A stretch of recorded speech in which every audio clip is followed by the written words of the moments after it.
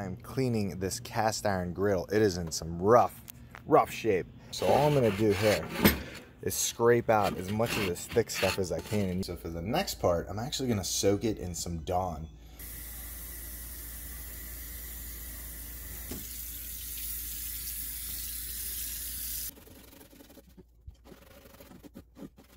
I'm actually gonna put this side down because this side still has a lot of like old grease on it too.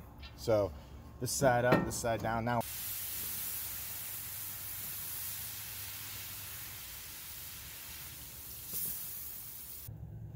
just let that go in.